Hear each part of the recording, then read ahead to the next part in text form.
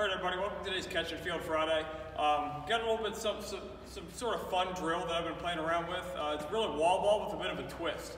Um, so instead of just traditional wall ball, um, I added the element of having your opponent or your partner or whoever, your coach, whoever, to add in the amount of hops you have to field it on.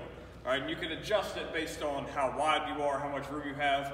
Um, here we're kind of limited in space, so we try to play one to two hops.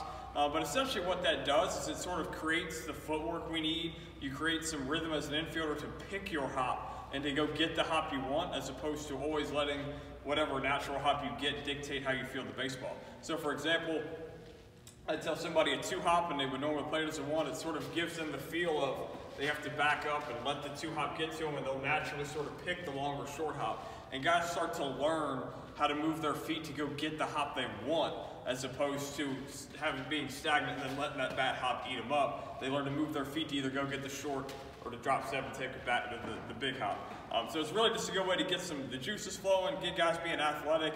They sort of start to move their foot, their feet a little bit better. It's just a really good drill. Check it out. One, Brian. One. One.